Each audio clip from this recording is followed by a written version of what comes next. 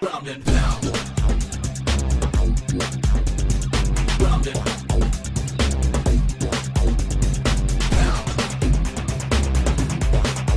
Ground and pound. GMP1 TV bei Integra FC11 von Jabrail Lulatov hier an meiner Seite, der gerade im Halbfinale des Turniers gekämpft hat. Leider ging es nicht so aus, wie du es dir vorgestellt hast.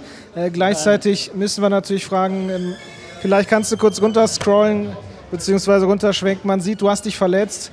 Ähm, gib uns ein kleines Update, wie du den Finish erlebt hast. Du musstest in der Armbar aufgeben. Ja.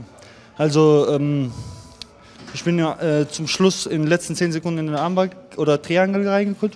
Dann ist er von Triangel zur Armbar gegangen und äh, ich habe versucht durchzuhalten die letzten 10 Sekunden. Wie man sieht, sollte man nicht machen. Im Amateursport vor allem. Lieber einfach deppen, zwei Sekunden vorher. Wir es durch. Ich habe Knacks gehört. Ähm, ja, das war's. Mehr gibt es dazu nicht sagen. Ich habe über Nacht halt ähm, ungeplant 5 Kilo runter bin ich gegangen. Voll bescheuert irgendwie. Ich sollte nur drei machen oder so. Und dann war ich mehrmals in der Sauna und so. Ja, Woran lag es? Hast du nicht zwischengecheckt, sozusagen, wo dein Gewicht ist, einfach durchgezogen oder wie kam das? also ich habe zu viele Anzüge drunter angezogen, dann Schwitzanzug drüber, dann trainiert eine Stunde, dann nochmal in die Sauna. Ich war zum ersten Mal so oben mit meinem Gewicht und dachte, oh mein Gott, wenn ich da jetzt nicht mein Gewicht bringe, lasse ich mich niemals Turnier kämpfen. Na, für die ersten Minuten sah es dir doch sehr gut aus eigentlich, bis deine Luft sozusagen später dann weg war. Ähm, du hattest ein Triangle drin, du hast ihn äh, mit einer Armbar, du hast, glaube ich, an einem Renaked auch ein bisschen versucht. Äh, was, was war davon drin und wie eng war das?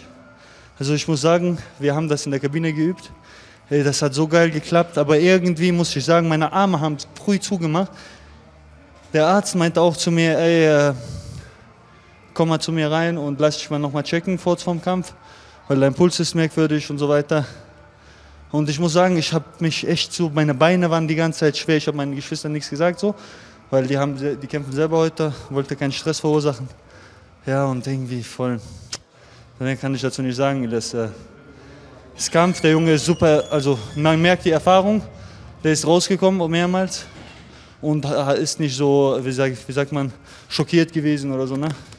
Hat mich gut unter Druck gesetzt. Ich äh, muss sagen, ich habe äh, kein Stand-up gemacht schon länger, aber ich habe auch nicht gedacht, dass der mir Probleme machen könnte. So, weißt du, ich habe mich überschätzt, ihn unterschätzt, was man nicht machen darf. Ich glaube, der hat 30, 40 Amateurkämpfe insgesamt, wenn nicht mehr.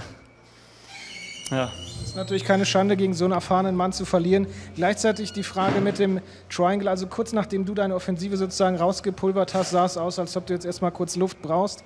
Genau in der Situation hat er dich auch in einem Triangle sichern können. Du hast, glaube ich, das Klopfen noch gehört. Es war, du wusstest kurz davor, endet jetzt die Runde. Äh, Dass jetzt eine Sekunde vor Rundenende ist, meinst du, da hat das eine Rolle gespielt?